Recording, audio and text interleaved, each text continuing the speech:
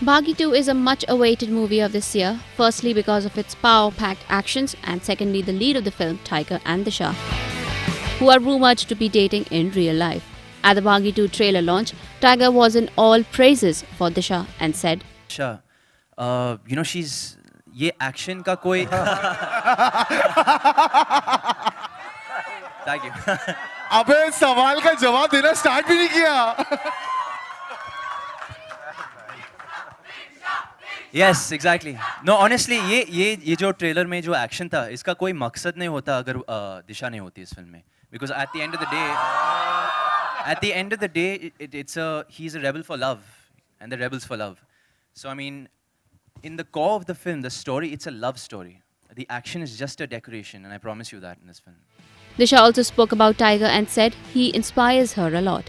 I have seen him. I see his training.